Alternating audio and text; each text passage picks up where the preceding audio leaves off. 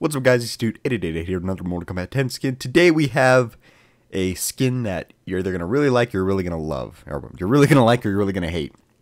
And it is a Sub-Zero Deadpool skin. Now, from looking at the skin, you can tell that it's not the greatest looking Deadpool.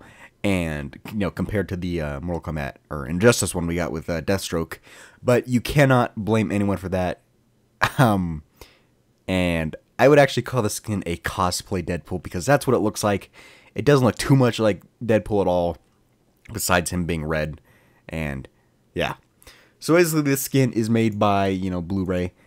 Blue, not Blu-ray, what am I talking? Blu-ray Simus, that's his name. And it is, it's really hard to explain. Like, because you can't like cover up his arms with more clothing, he kind of just went for like a ninja looking Deadpool, which is not impossible. We have seen something like that before uh, and Deadpool definitely do it.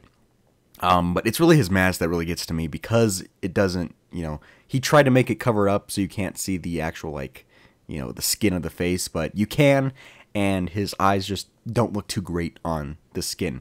However, I'm not bashing it. I actually do really like the skin because you know we finally get Deadpool, and everyone loves Deadpool.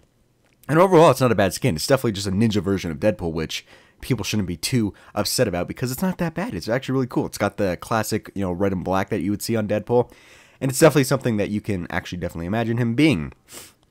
But that's it for this skin. If you liked it, leave a like. Any questions, put them in the comment link in the description. Subscribe for more. Another short one because it's very hard to, uh, you know, not be great with Sub-Zero. I also got a Brutality. That's pretty cool. But I'll talk to you later. Hopefully you guys like this one, and have a good day.